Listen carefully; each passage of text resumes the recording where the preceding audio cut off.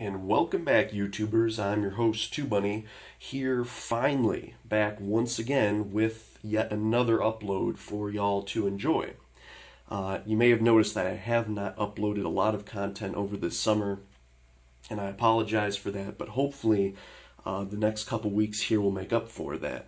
See, um, lately I found myself a few summer projects. This here, this Toshiba 52HM84 DLP rear projection television is one of those projects that I got my hands on. And today I'm going to be doing a quick tour and review of that for you. And hopefully, uh, in another video, I will be able to do a, um, a repair guide as to what I did to get this particular set working.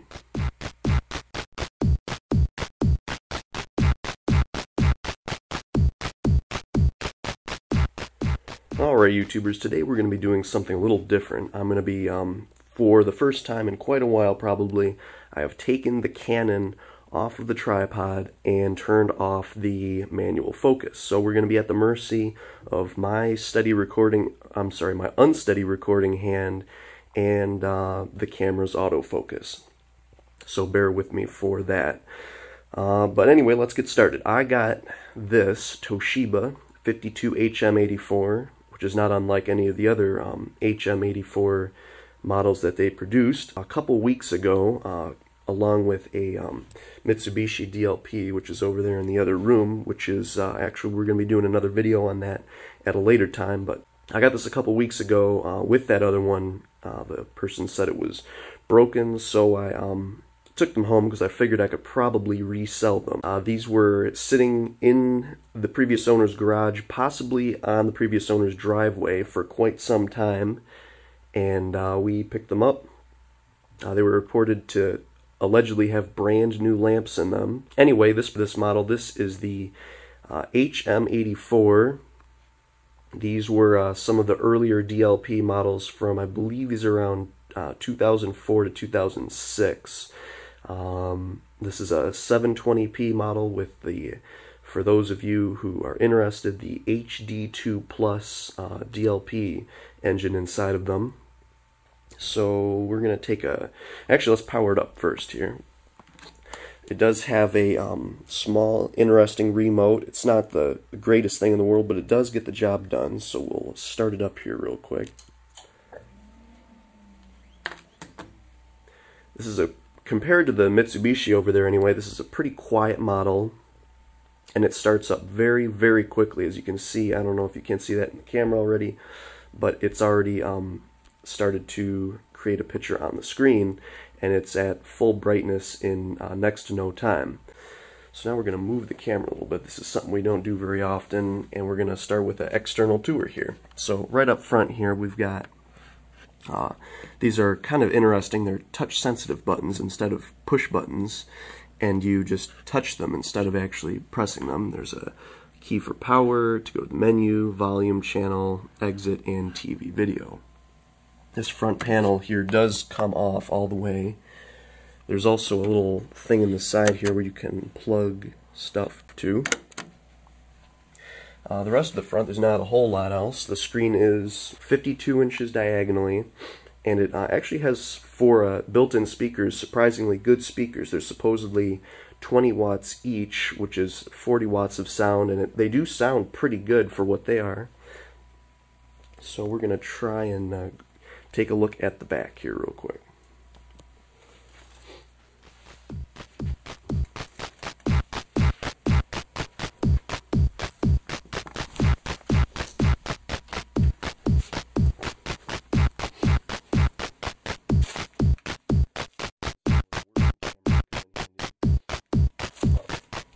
Anyway, this is the um, the side back here. As you can see, it's a very slim uh, set, especially compared to the uh, CRT rear projection models.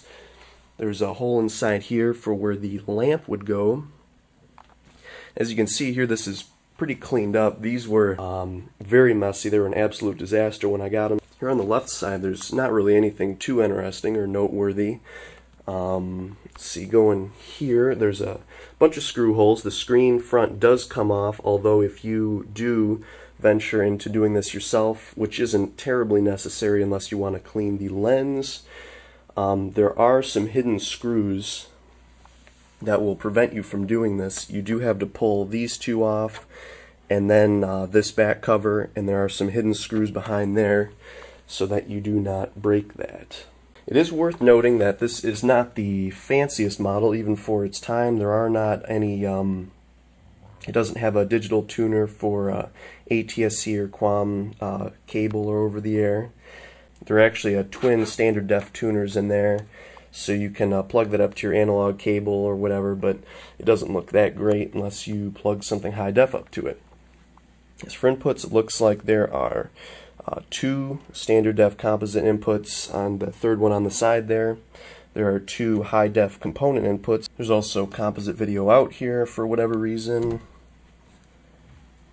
Audio in, I believe that's for the HDMI port for uh, devices that don't support audio over HDMI, such as if you used a DVI adapter from a computer or something.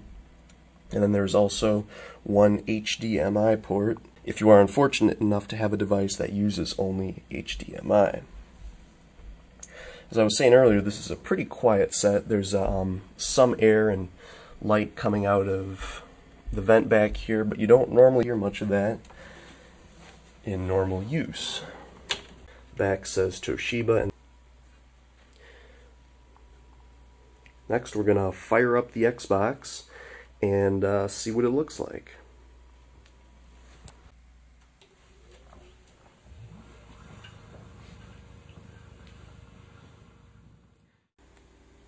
Now that we do have the Xbox starting here, there's a few things worth noting about this and the screen itself. Um, there is a significant amount of uh, overscan and um, geometry problems.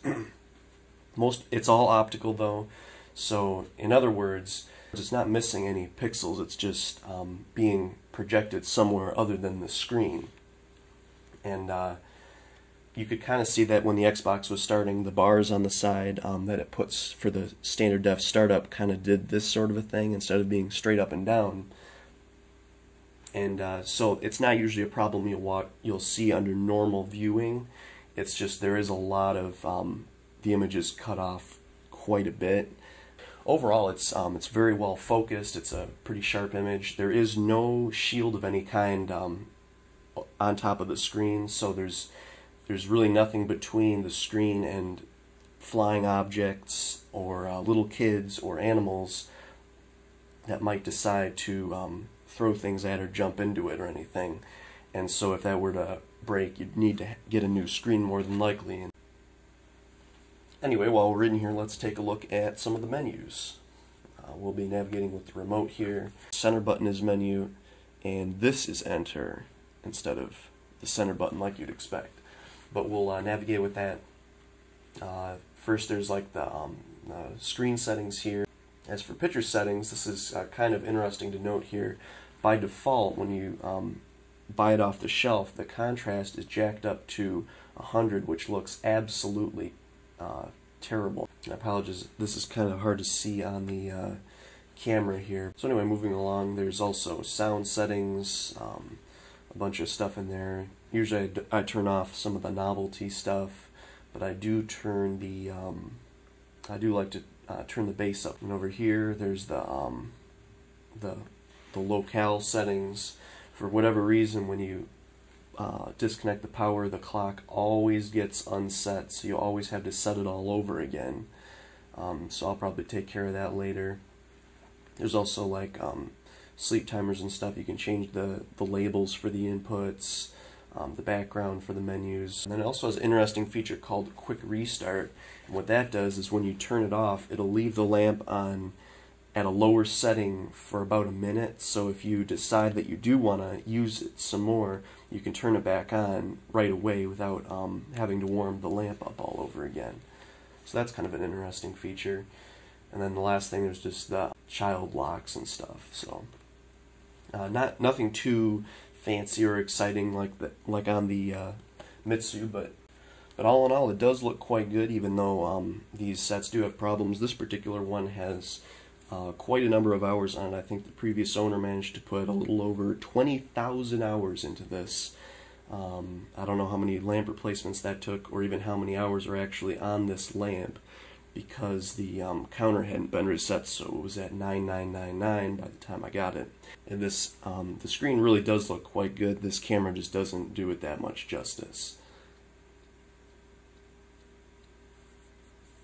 anyway thanks for joining us uh, hopefully we'll be able to pick up the pace here and get a few more videos out on the old YouTube for you guys to enjoy. I'm really sorry for the um, for the lack of activity over this summer. I've just uh, been busy on a lot of projects, such as this one here, and uh, hopefully we'll have some more content for you. So thanks for watching, guys. See you next time.